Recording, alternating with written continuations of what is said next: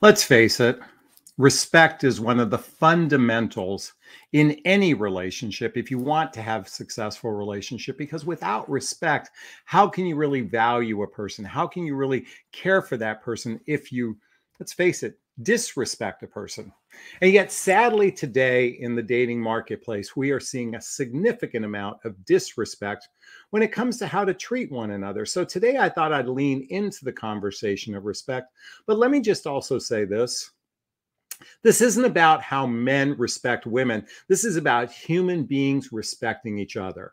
Let me repeat that human beings respecting each other.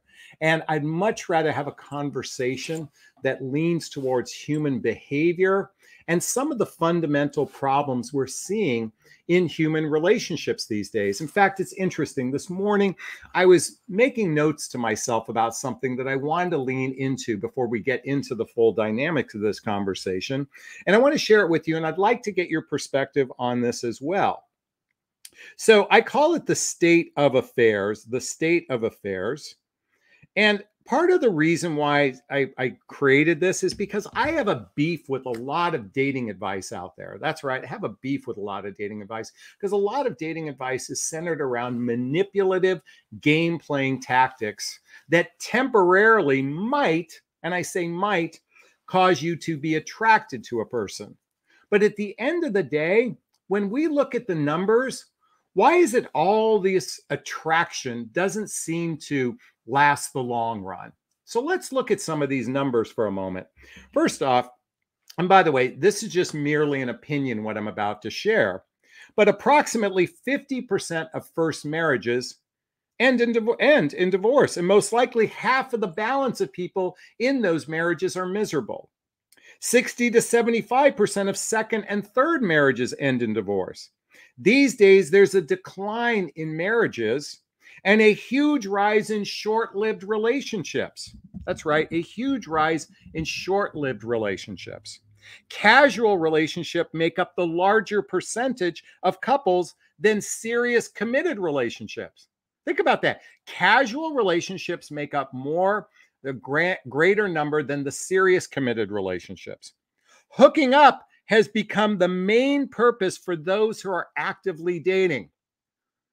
Think about that for a second. Hooking up is where the predominant number of people are in the dating marketplace.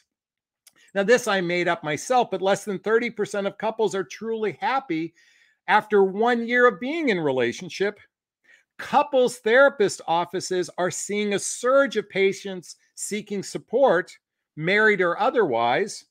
Most therapists state that the majority of couples that come into their office or even their patients blame the other person in their relationship as being the problem. The single population, those not in any relationship, is at an all time high, and many of them claim to be unhappy being unmated. And lastly, depression and loneliness amongst humans are at record numbers. So, if the, all the above is fairly accurate, what advice would you give to somebody entering the dating marketplace? I want you to ponder that for a second. What advice would you give to someone who's dating the, um, the is entering the dating marketplace? Let's say they came out of a divorce. Let's say they came out of a significant relationship. Knowing all this information, and by the way, if you're watching this now, it is in your consciousness. You now know this information. You can't play dumb anymore.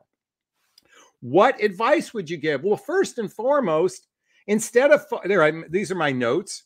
Instead of focusing on romance and chemistry when dating, spend time determining compatibility and emotional maturity before exploring a relationship with someone. Those of you who follow my channel know my emotional maturity relationship skills chart. This is not a fact, merely an opinion, but I believe 20% of the population has clinical issues. Sadly, I was watching the show last night, Dating a Psycho. And believe me, there are people with clinical issues out there. And while I say 20% of the population has good relationship skills and emotional maturity, the vast majority of human beings are dysfunctional. In fact, did you know that therapists claim that 85% of their patients have come from dysfunctional families? Dysfunctional families. Think of how that would weigh on a person I, want you to think about this. Has anybody been watching the Dahmer story on Netflix? Um, I've I've I've been watching it lately, and I've been watching the the the the beginning about how he was raised and the trauma he experienced in childhood. The trauma he experienced in childhood. And while thankfully the majority of the population doesn't have that kind of sociopathic clinical issues that causes someone to behave that way, if we've come from a dysfunctional family, it's going to wear on us emotionally in our relationship skills. So it's incredibly naive to expect human beings to be good at this process. This is why, folks, I continually recommend both men and women to read the book, The Hoffman Process. The Hoffman Process. This is a deep dive into healing childhood wounds and traumas and adult traumas that cause emotionally Im- emotionally constipated human beings that have weak relationship skills. By the way, there's a link below to get all the books I recommend. Why am I recommending this?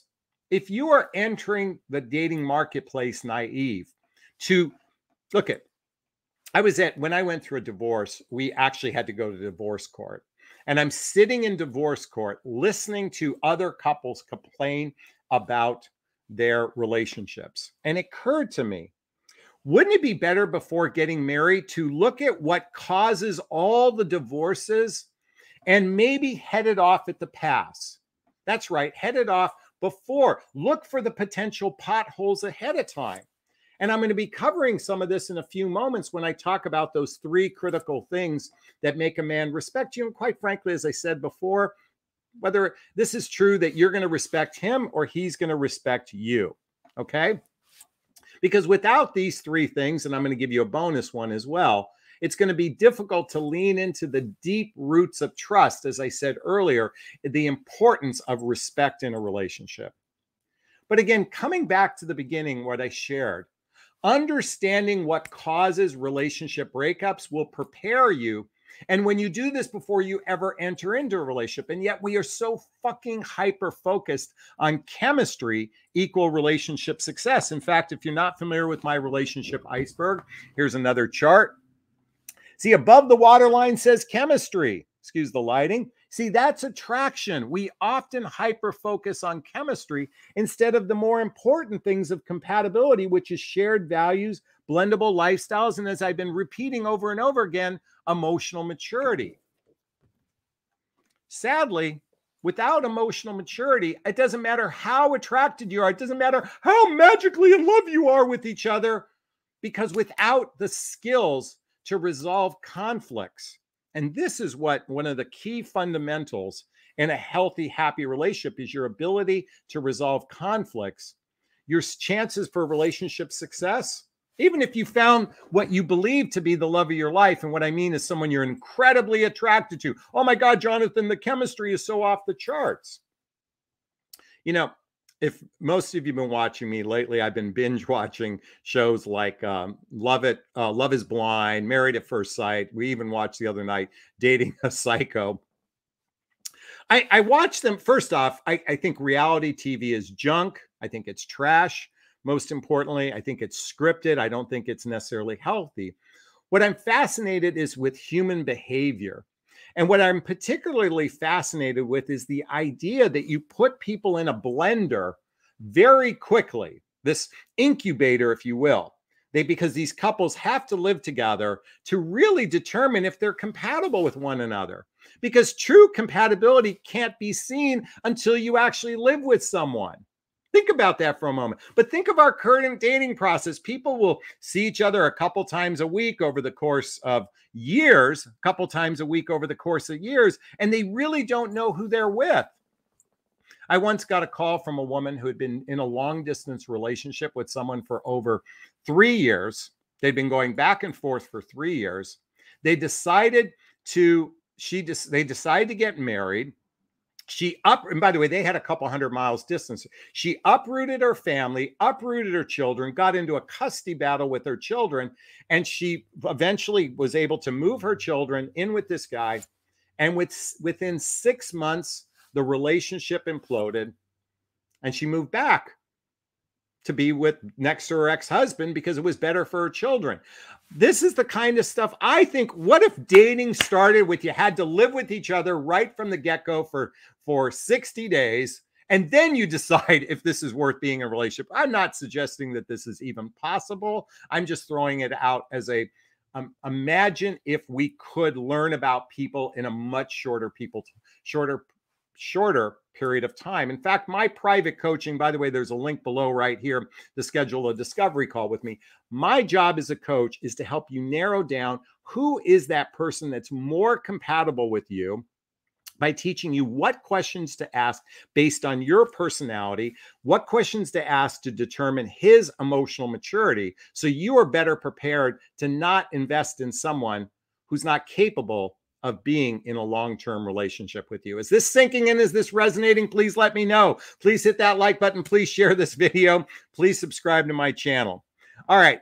I'm sure you've all been waiting for me to jump into men over 40, over 40 deeply respect women who apply these three rules. There's my notes. Let's jump into it.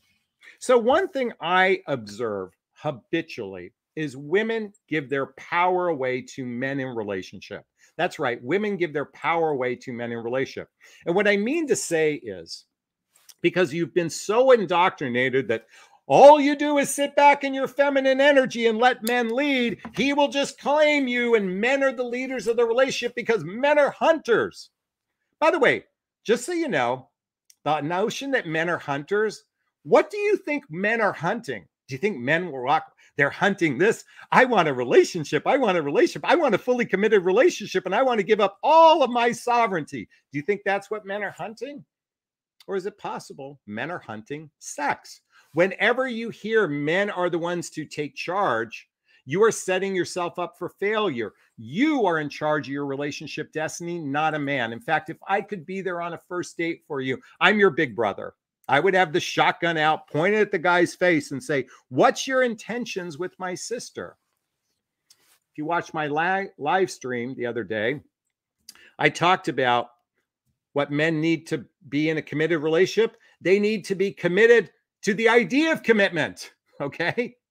So women give their power away, and quite frankly, men will disrespect them. So, one of the first rules you need to apply is to respect yourself and not give your power to a man. And yet, I habitually see this because sadly, here in the United States, we are suckling on the nipple of I need you to love me so I can feel good about myself. I need you to validate me so I can feel good about myself. I need you to text me 42 times a day so I can feel good about myself. We are suckling on the nipple of the need for constant validation and someone else loving us for us to feel good about ourselves. Now, listen, folks, I know it's a challenge out there when you're meeting total strangers it's very challenging because when you meet a stranger, the minute you have some chemistry, you feel in a sense of affinity with them. And yet you could be you could be with a psycho like I talked about before. It takes time to really develop a fully it takes time first off I'm not so certain we shouldn't do background checks on everyone before we meet. We investigate their social media presence. We find out friends of their friends. I think, that, listen, when you think of arranged marriages, I changed, I just did a squirrel here. You think of arranged marriages, one of the reasons why they tend to be more successful is because the family has vetted this person on your behalf. And the family is fully invested in the success of the relationship. Here in the United States, we're just randomly, haphazardly, we're just swiping away on people, just hoping to find the one. The dating apps has bastardized the process of meeting people and it's created a false sense of hope. I think for men, it's great. Uh, by the way, I think the dating apps totally for men over 40 in particular totally favor men because women feel a sense of scarcity out there. So they'll attach themselves to any guy that gives them attention. And the guy can just basically use you, spend time with you, and he can be on swiping away on the next person. Now, a lot of men will say that the women have all the advantage because they're getting all the swipes. That might be true, but as we age, I see the shift turning. Younger women get all the attention, and as we age, that begins to shift. So this is why it's critically important to to operate from the rules that I apply for my clients is radical honesty and pre-qualifying your prospect. And if you want to learn about it, schedule that call with me. Okay? Because ultimately, and I said a moment ago, a man will deeply respect a woman who respects themselves this isn't just men respecting. You won't respect a man who who's a doormat. You won't respect a man who is riddled with insecurities. You won't respect a man who's habitually needy in relationship. So respecting for themselves is critically important. Number 2, this is something I learned from my girlfriend. One, I call uh, number two, a man will deeper respect a woman who's vulnerable, authentic, and transparent. Vulnerable, authentic, and transparent. Why I'm sharing this is one of the things I so appreciate about my partner. And listen, I know I haven't told her name yet. I know some of you are asking about it. She, I'm preparing my stu. By the way, I'm doing this in my bedroom, our bedroom, I should say. I'm preparing my studio for upstairs. And when it's fully prepared, I promise I will bring her out and I'll introduce her to the world. But in the meantime, one of the things I appreciate about her is her capacity to be vulnerable, authentic, and transparent. So much so that we had a very difficult conversation. To give you an example, right from our from one of our very early meetings. Turns out when I picked her up at the airport, I'd been doing some work around the house. I had a t-shirt that was a little bit sweaty. And when we were sitting down and chatting with me, she openly shared something. She said, Jonathon, I have to share something that's very uncomfortable. I said, What's that? She goes, I don't think your deodorant works too well. And I gave you the backstory of what happened. Now, I got to tell you, I got a little defensive for a second because it was very uncomfortable to be told you have BO. But I appreciate her vulnerability, her authenticity, and her transparency. When we shared about our past relationships, I appreciated her absolute transparency. And while I can't validate everything, and what I mean to say is I don't know for certain she was telling the truth, I get the sense that she mm-hmm. was. And it's one of the things I most appreciate about her is that capacity to be vulnerable, authentic, and transparent. I respect her for that. Ladies, I'm going to assume that you appreciate a man, will respect a man who's vulnerable, authentic, and transparent with you. And I'm encouraging human beings to be more vulnerable, authentic, and transparent in the early stages of dating. So we can actually bypass all the fucking bullshit rhetoric that's happening today. It's time to get radically honest with one another, to lay our cards on the table so we don't waste time with the wrong person and actually based on chemistry. And maybe, and I say maybe, choose that partner who's right for you. Now, before I share the fourth or the third one, I want to say that I'm a big proponent of personal development, self help, and spiritual work. Folks, this is why I wrote a book called What the Heck is Self Love Anyway? It's a journey of personal development, self help, and spiritual work. Again, the, the link in the description below to get all the books I recommend. Why do I recommend my book? Folks, I didn't become this. I'm, I'm I, and by no means do I suggest myself Uh, overly conscious, over and awakened, but I do believe that I have a capacity with what I'm about to share next that's happened through all the personal development, self help, and spiritual work. And why I want to recommend my book is I want to show you this chapter. It's all the teachings, the readings, the teachers, the workshop I attended. And this is two pages worth of content. And this is only a fraction of what I've done. But I invite you all to do the inner work like the Hoffman process, maybe reading this amazing book. Has anyone read the book, The Untethered Soul by Michael Singer? I highly recommend checking this out. This is a deep dive. This is such a beautiful book to help you learn to talk to the voices in your head. Because as I said before, and this is the third rule that men will deeply respect, is women who are in victor consciousness and not victim consciousness. Sadly, here in the United States, we are suckling on the nipple of victim consciousness. That's right. We see this habitual sense to of, of operating as a victim, maybe to get sympathy, but more importantly, to deflect personal responsibility. Folks, men and women alike respect people who take ownership in their life. They're not victims, they're victors. In fact, we see this in the dating realm, particularly when people talk about their past relationships.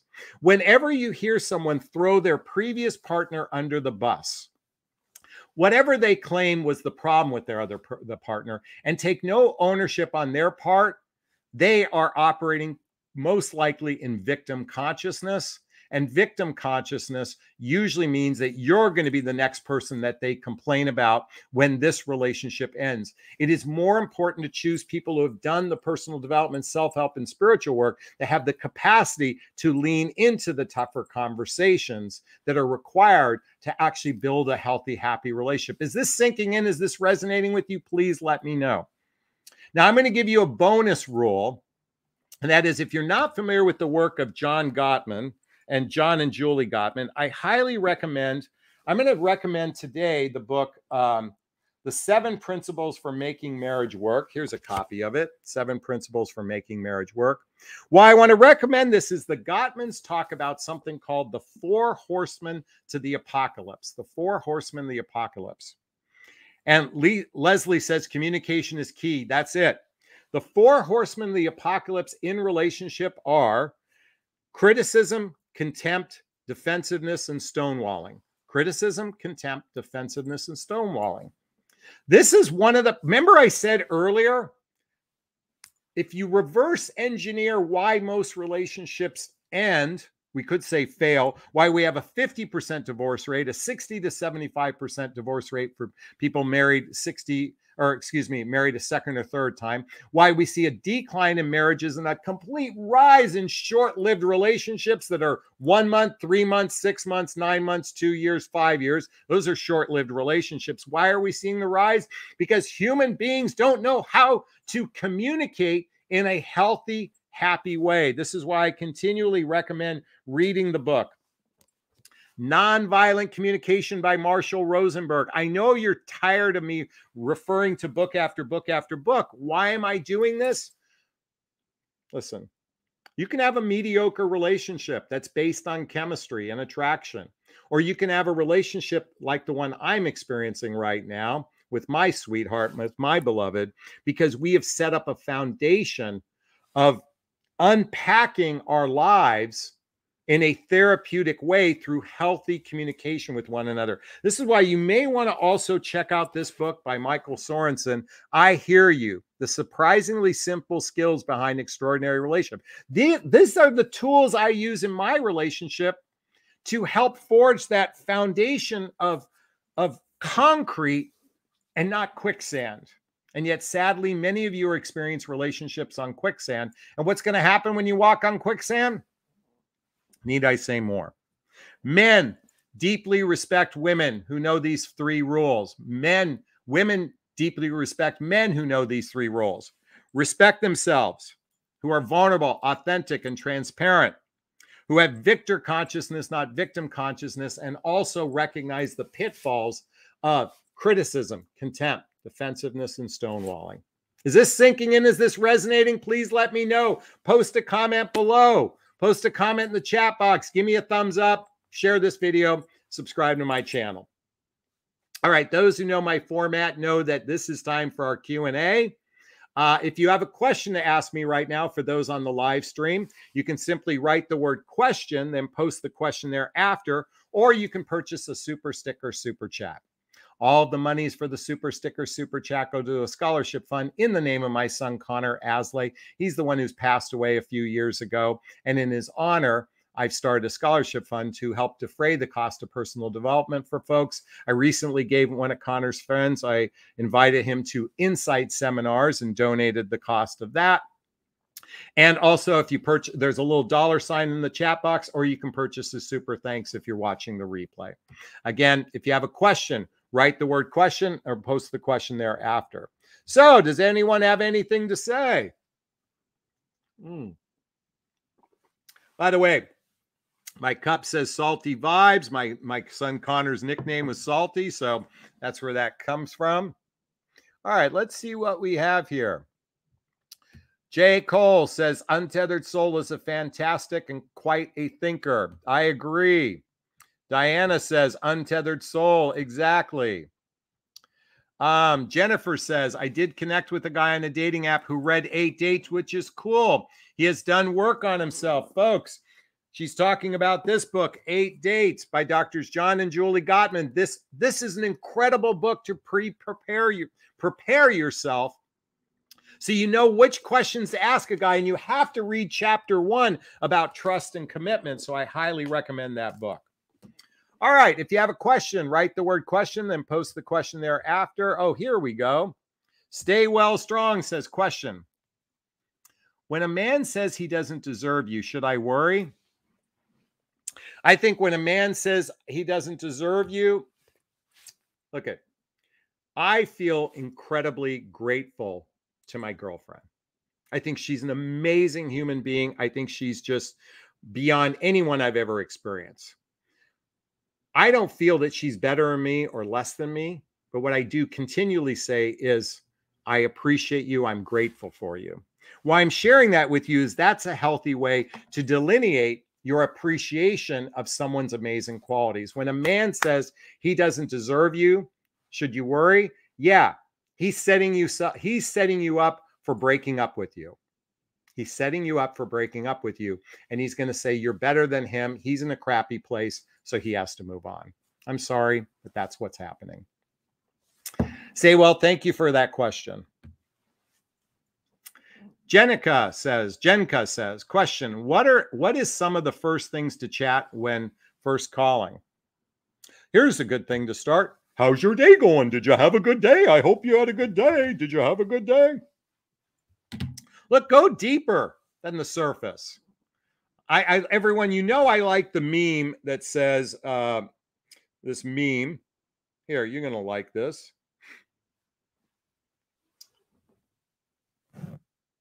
I hate small talk. I want to talk about atoms, al- at, or I want to talk about atoms, death, alien, sex, magic, intellect, the meaning of life, faraway galaxies, music that makes you feel different, memories, the lies you've told, your flaws, your favorite scent, your childhood, what keeps you up at night, your insecurity and fears. I like people with depth who speak with emotion from a twisted mind. I don't want to know what's up. Right there. Go to the meme, type in I hate small talk. You can print that up for yourself. That's plenty enough to keep you busy on that first when you're first calling with someone. All right. Um, Heather says, not a question, but I'm being raised, but being raised by a mother with 100% victim mindset is almost ingrained and it's difficult to get rid of. But be aware, being aware is the first step. She is exactly right. Being aware is the first step to actually healing oneself. So uh, it's great to be, that's why I highly recommend uh, doing the Hoffman process to do a deep dive into healing one's childhood wounds and traumas. So you can actually work on those issues that have been ingrained from childhood. So thank you, Heather. I appreciate that. I want to thank uh, Samantha for the $3 super sticker for the Connor Aslay Scholarship Fund. Thank you so much. I appreciate it. All right. Lee says, Question I slept with a man on the second date. I regret it. He's been very respectful, but it is wrong to but is it wrong to rescind sex until I feel more comfortable? How would I go about doing this? That's a great question. I think as I said in my broadcast, the three rules. Be vulnerable, be authentic, be transparent. James, um, I just want you to know that I really appreciated our opportunity to connect at an intimate level. And I want you to know I had a fantastic time. As I sit back, I realized that I wasn't ready to fully engage in a physical, intimate relationship with someone without getting to know them better, without experiencing trust, without experiencing some level of understanding of where what we what we both want out of a relationship. Because trust to me isn't just being faithful in a relationship. Trust to me is being in a position where I know the other person cares about my feelings as much as I do. So at this moment, I'd love to get to know you better. I'd love to be able to explore doing things together in a relationship. And it's going to take me a little more time to be physical. And I'll understand if that doesn't work for you. I understand that a lot of men, that doesn't work for them. That's what works for me. And if you genuinely want to get to know me at a deeper level, I invite you to explore me beyond the sexual. And then when we're both ready, I think it'd be a great time to explore our physical relationship. Lee, that's my suggestion.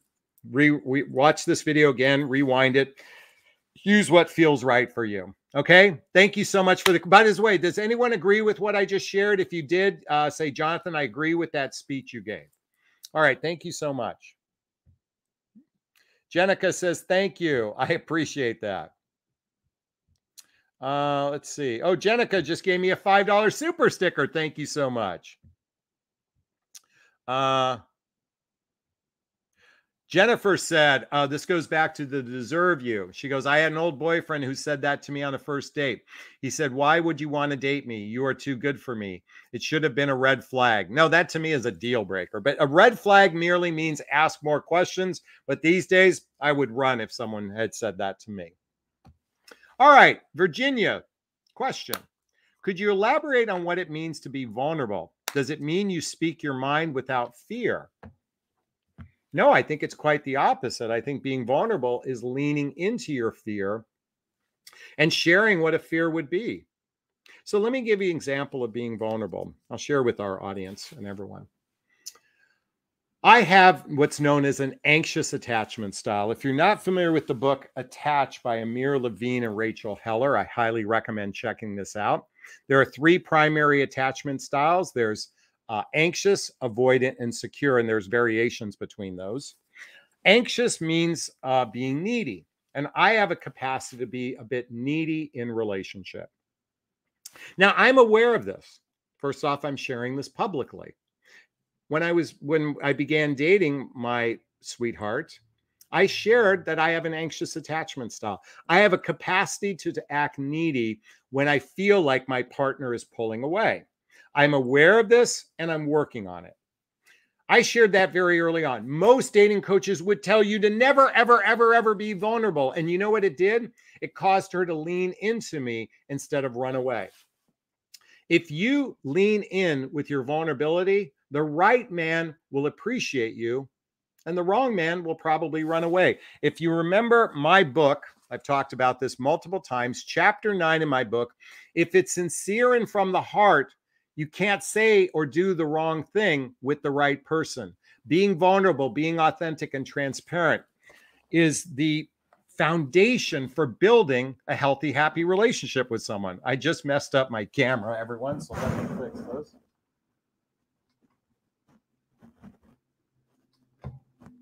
Oh. Well, that's a bummer. I can fix it this way. All right. So everyone gets the gist of that. Um, Virginia, thank you so much for your question. I really appreciate it. I hope that helped. So thank you so much.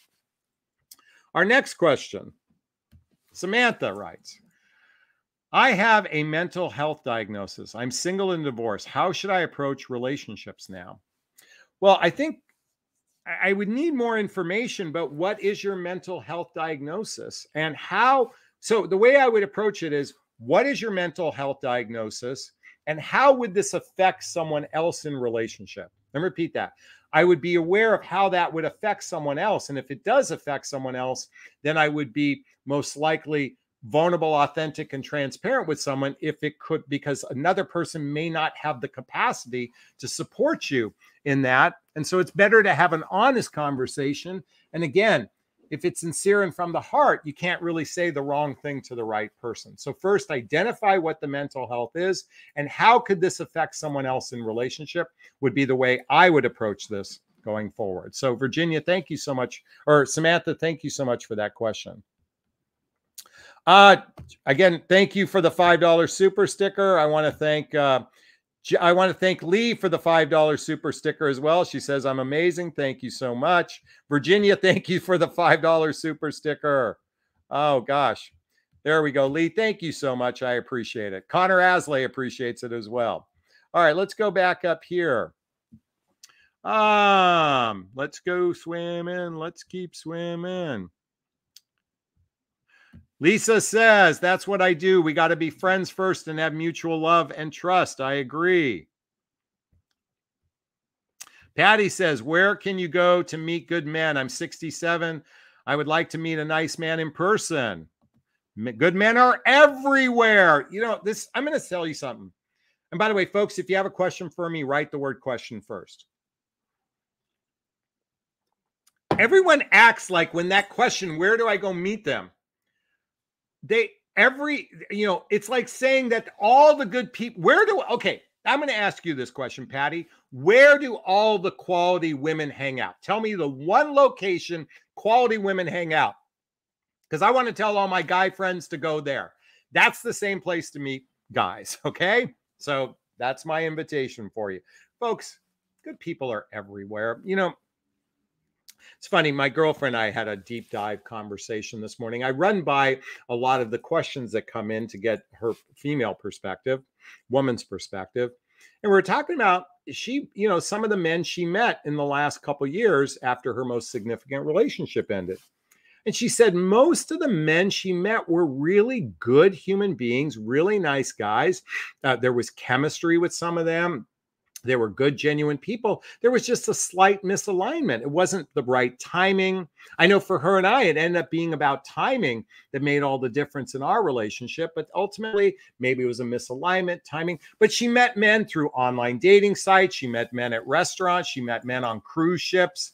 Um, by the way, someone asked where uh, she did a number of singles cruises. You can just Google singles cruises. Great place to meet people. So good men and women are everywhere. They're not hiding in one location. They're not at uh, you know, around the corner on Torrance and Crenshaw Boulevard. Okay. So anyway, um, that's my answer to your question. Thank you so much. Leslie says, how do you stop the hot and cold game with your partner, especially if they are scared of getting close? I'm pretty consistent and not hot and cold. He isn't, and we have been together for a while. Couples therapy, folks, start going to couples. You know what? I was having a conversation with a client earlier today. By the way, I am so blessed. On my clients, I get calls every single week. Jonathon, I met a great guy. Jonathon, I met a great guy. Jonathon, I met a great guy. And they know the difference. And what I mean to say is, um, I'm, I've got clients getting engaged, moving in with partners. I'm so blessed. And one of the things I was sharing with a client today was uh, it's interesting because one of her most important questions she asks a man is what kind of therapy he does and if he'd be open to doing couples therapy and workshops uh, right from the get-go of beginning a relationship together and I thought, you know, I really appreciated that she leaned into she leaned into a very tough conversation and she had this amazing conversation with the man. And my point is amazing is because she cut out all the bullshit and talked from a more heart-centered place, that more radically honest place. And she actually believes she has a viable prospect right now. And if they have chemistry, then they have a better chance for relationship success because she asked the tougher questions right from the get-go. She she followed my my proprietary coaching program. That's what my clients do. They follow this proprietary program that I created to help them, you know, put the odds in their favor. Many of you guys are just winging it. You're winging it. You're winging it. And you, what's the definition of insanity? Doing the same thing over and over again, expecting different results. And many of you are operating from that victim consciousness. And it's no wonder you're suffering in the dating marketplace. I know you don't like hearing this, but I'm just being blunt from what I see. So, anyway, what was your question? I know I did one of my squirrels. So, um, well, my suggestion go to couples therapy together. Thank you so much. Dee Dee says, question How much does a woman's income matter to a man? Well, I'm going to say it, this is the way I think most men view it for the most part. Um, I believe roughly 80% of the US population lives paycheck to paycheck and makes less than $125,000 a year and it needs basically two incomes are needed to survive. I mean, here in California, it's seven dollars a gallon to drive your car. So, what a man seeks is so long as he can provide for himself, he's mostly looking for a woman who can provide for herself, especially the over 40 category, unless he's rich or he's in the top, he makes in that 200, 300, 400,000 dollar range. Which is a very small percentage of the population. So he's looking for a woman who can take care of herself. And think about it two incomes are better than one. I think of my girlfriend and I, we pooled our resources together. We have four cruises planned in the next year. Got an amazing um, New Year's Eve cruise plan. I up I I splurged. I I covered the cost of the um, upgraded cabin. I mean the the concierge level cabin. But because we pool our resources together, two operate better than one. So, yes, it does matter. So long as you can take care of yourself, I think that's what matters most. All right, Dee thank you so much for that question. I really appreciate it. Heather writes Question Since online dating has become a big shit show, do you think people will start meeting up in parks and grocery stores again? Um, that's a great question. Here's the challenge with a younger demographic, it's easier to know who's most likely single and eligible. And what I mean to say is the younger the person is, the higher probability they are single and eligible. The tougher part for the older demographic is listen, first off, I, I haven't been to a park in God, I, I can't even think of the last time I went to a park. Okay. And I lived around the corner from one, number one. Number two, when I go to the grocery store, I'm focused on my groceries. Now, occasionally I see someone who's attractive prior to meeting my beloved, but I don't like to walk up to strangers based on looks unless there is some chance happening. And here's the problem with that. Back in the day when it was grocery stores or park, we used to live in smaller communities. We didn't have the internet. We didn't have highways and freeways and such. We lived in smaller towns, so it was easier to connect with someone who most likely knew your family and friends. So, from that premise, I'm not a big fan of it. What I am a big fan is doing social activities that put you around as many single eligible people as possible. There are a lot more opportunities coming up, like the singles cruises that I talked about. My girlfriend does. She she she told me um, she used to go to bars on Monday night. They used to have actually there was a two fold blessing with her going to a bar. There was a bar that was giving raffling off these thousand dollar Manola Blancos. Did I pronounce it properly? Shoes. And she went there sometimes with a girlfriend, sometimes her own. She'd sit at the bar, order a drink, and guys would walk up to her, offer a drink.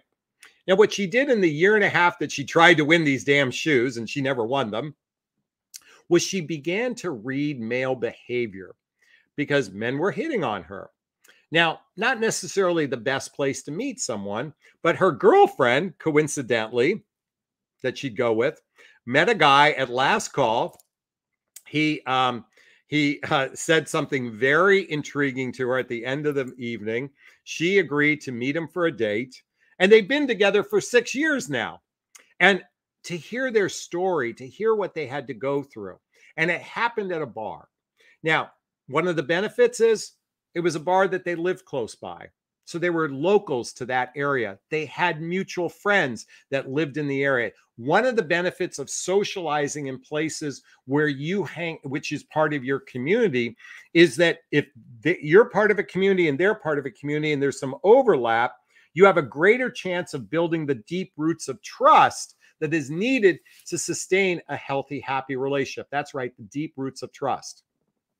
Those include emotional connection, economic agreements, social activities, hobbies, mutual interests, spending time with family and friends, um, and intimacy, both physical and emotional intimacy. When you have roots, it's easy when you have those roots of trust built, especially through social activities, hobbies, mutual interests, and family and friends, you have a greater chance of relationship success. So, are do I see it happening at parks and grocery stores? No. Yeah, there's one in a million, one out of every hundred thousand but when you put yourself in an environment where there's more single eligible people, you have a greater chance for success. Heather, thank you so much for that question. I really appreciate it. Ah, let's see. Chrissy says, I love watching your videos. I've learned quite a bit. Still learning, always learning. Thank you, Chrissy, for that. I really appreciate it. Uh, Jennifer says, I agree with that speech. Well said. Thank you so much. I appreciate it. Leaf says, I agree with you, Jonathon. Pam says, I agree. Thank you so much. Uh, what's better if he calls me dear or babe? I call my girlfriend both of those. I think they're great names. Sweet uh, terms of endearment. All right, what questions do we have? Oh, this is, oh, let's see. Let's go swimming. Let's go. Oh my gosh, we got a ways to go. Heather says join clubs based on interest. Exactly. Quality women hang out in healthy communities. So cool that you have a girlfriend and now you can bounce these ideas off her too. Thank you, Gretchen. I appreciate that. Jenica says, Hope I pronounced your name properly. Did I? Is it normal for men to feel that they have to prove themselves and talk so highly about themselves? you know, I look at my girlfriend and I think she's the prize. I really do. And sometimes I boast, sometimes I have peacock feathers, sometimes I brag about myself and and such. I think it's natural for men to peacock because here's the bottom line and it's interesting she did her own version of peacocking in a way um because human beings want to be liked Human beings want to be liked, they want to be loved. One of the number one emotional health issues most human beings feel is I'm not good enough, I'm not lovable, and I'm not likable. So, yes, this happens. That doesn't make them narcissistic. It doesn't make them necessarily self centric. It doesn't necessarily make them narcissistic or self centric. It makes them human. Humans are riddled with flaws. Sadly, here in the United States, we are suckling on the nipple of perfectionism. Does anyone remember the movie Harry Met Sally? You know, Sally was a unique character, especially when she ordered food. She was rather neurotic. Okay. She was rather neurotic. I'd like to have the meatloaf, but it has gravy. I'd like to have the gravy on the side. I'd like to have the Caesar salad, but if it has croutons, I'd like to have the croutons on the side. I'd like to have the um, ice. I'd like to have the apple pie a la mode, but if the ice cream is too warm, I'd like to have cherry pie. And Harry looks at her goes, "Oh my God, she is a nut job. She's neurotic." Here's the thing: at the end of the day, at the end of the movie, he says, I love it that it takes you an hour and a half to order a ham sandwich. I love it that you think 71 degrees is cold. I love it that your nose crinkles every time you get stressed out. I love it that you're the first person I think of when I wake up in the morning, the last person I think of when I go to bed. My point is is he didn't fall in love with her good qualities. He fell in love with her idiosyncrasies. Folks, we human beings are flawed. This is why I recommend book after book after book after book. Is there another book I can recommend? I think I've recommended a lot. I recommend this because to heal oneself, to heal the wounds, maybe those bragging wounds, and I still got them. When you can learn to appreciate, my girlfriend says, but let me just say this. One of her first things she said to me after our third or fourth time together, she goes, You are absolutely exhausting. You want to unpack everything and process everything. But I think it's one of the things she appreciates most about me. So all I'm saying is we are human beings riddled with flaws.